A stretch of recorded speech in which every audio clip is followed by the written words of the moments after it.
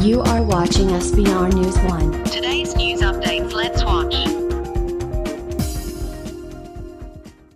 नमस्कार, आप देख रहे हैं एस न्यूज़ वन और मैं हूँ आपके साथ अनुपमा खोबरे और रुक करते खास खबरों की ओर। पुरेना घुगली स्थानीय लाला केशर राम नागरी नारंग क्षेत्रीय क्रीडांगन में आयोजित 50 वर्ष के ऊपर के भूतपूर्व क्रिकेट खिलाड़ियों ने लीजेंड क्रिकेट प्रतियोगिता में जमकर अपना दम दिखाया। एक दिवसीय प्रतियोगिता में महाराजगंज लीजेंड वॉरियर्स व घुगली ब्लास्टर्स के बीच खेला गया। घुगली के कप्तान दिवाकर थान दिवाकर थान तिवारी ने टॉस जीतकर अपने क्षेत्र रक्षण का निर्णय लिया।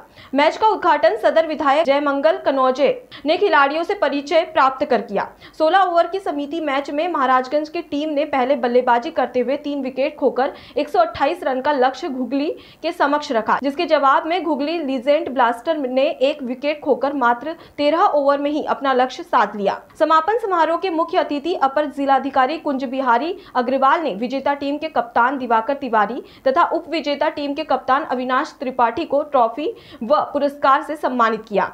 इस अवसर पर उन्होंने कहा कि इस तरह के आयोजन होना चाहिए, जिससे फिट इंडिया की परिकल्पना सार्थक होगी।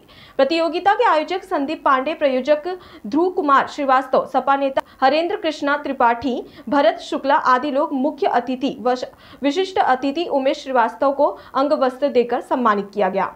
सूबे की योगी सरकार गायों के संरक्षण के लिए लगातार सख्त कदम उठा रही है। सरकार के आदेशों का असर भी होता दिख रहा है, लेकिन कहीं ना कहीं कोई ऐसा मामला सामने आ जाता है जो सारे किए कराए में पानी फेर देता है। ताज़ा मामला गाजीपुर थाने के मालवा रोड पर कचरा फैक्ट्री का है, जहाँ कूड़े के ढेर में गाय के शव को जलाने का वीडियो सोशल मीडिया पर वायरल हो गया है। वीडियो वायरल होने के बाद बजरंग दल के कार्यकर्ताओं ने फैक्ट्री के पास बने डंपिंग वार्ड में पहुंचकर हंगामा कर दिया जिसके बाद जिला प्रशासन ने पहुँच कार्रवाई कर भरोसा दिलाया।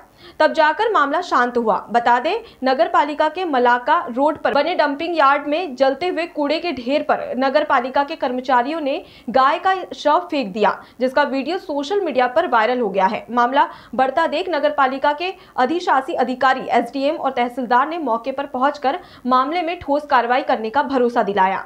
नगर पालिका सीओ ने बताया कि मामले में दोषी आठ कर्मचारियों के खिलाफ एफआईआर दर्ज कराई जाएगी। बाद ये एक्शन लेना कि जो भी जिम्मेदार व्यक्ति है जिसने भी कूड़े में जानवरों को मरा यहाँ फेंका है उसके खिलाफ हम एफ़ आई आर कराने जा रहे हैं। तो इसमें लगभग लगभग कितने लोग हैं? आठ लोग हैं इसमें आठ ड्राइवर हैं जो ले के यहाँ बचाव देते हैं। कर्मचारी कितने हैं? आठ आठ ड्राइवर हैं और तीन कर्मचारी इसमें लगे हुए हैं। आठ तो इनके ऊपर सख्त से सख्त हाँ, कार्रवाई बिल्कुल इनके ऊपर अभी हम एफ़ आई आर कराने जा रहे हैं। हमारे पास लिस्ट भी है। कितने ड्राइवर हैं उनके ग्रामीणों का कहना है कि बहुत दिन से यहाँ आग जल रही है आज तक कोई एक्शन नहीं लिया गया है। देखिए एक्शन तो लिया जाता है ऐसा नहीं कि एक्शन नहीं लिया लेकिन कूड़ा है कूड़े में आग अपने आप पैदा हो जाती है। वैसे कुछ लोगों का मैडम कहना है कि इसमें जो है डीजल डाल के जो है कुछ नहीं लोग आग नहीं लगा ऐसी बात नहीं है डीजल डाल के आग क्यों लगाएँगे? कचड़े में कहीं भी गैस बनती है और गैस से अपने आप आग लग जाती है। ग्रामीणों का ही कहना है ग्रामीण कहने हम तो मानेंगे नहीं कुछ लोग कहते हैं कि हमने देखा है कि जो है डीजल का डीजल का प्रयोग करके जो है आग लगाई गई है तो वो प्रूफ लाए उनके खिलाफ कार्रवाई होगी।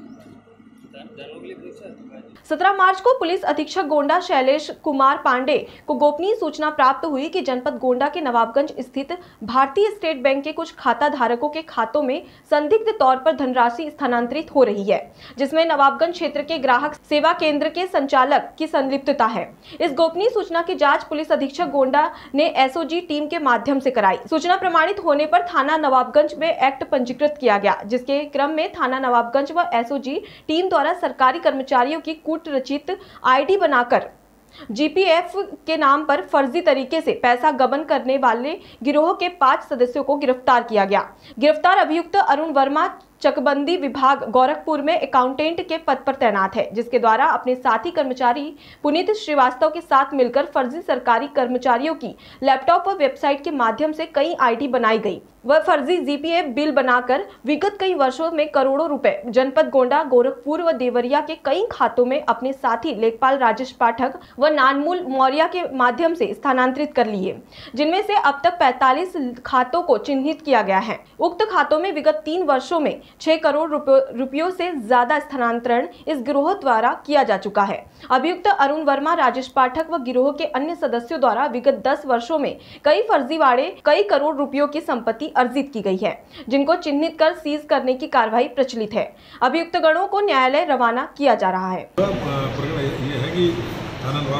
एक सूचना थी, जिसमें कि स्टेट बैंक के खातों में फर्जी गबन करके कुछ पैसे लाए जा रहे हैं कुछ लोगों द्वारा और उसकी जो है संदिग्ध तरह से इसकी कार्रवाई है। मांट के गाँव दरवे में आज मैदानी जंग विशाल कुश्ती दंगल का आयोजन किया गया। कार्यक्रम के आयोजक पप्पू पहलवान, अध्यक्ष अखाड़ा पीपल वाला ने बताया कि इस कुश्ती दंगल का आयोजन उन्होंने सत्यवीर सिंह उर्फ़ सत्तो पहलवान की स्मृति में किया गया है, जिसमें राजस्थान, दिल्ली, हरियाणा, पंजाब एवं विदेश से कुश्ती लड़ने के लिए पहलवान आए हैं। आखिरी कुश्ती जीतने वाले पहलवान को कमेटी की तरफ़ से पाँच लाख नगद एवं फॉर्म ट्रैक ट्रैक्टर व गुर्ज दी जानी थी।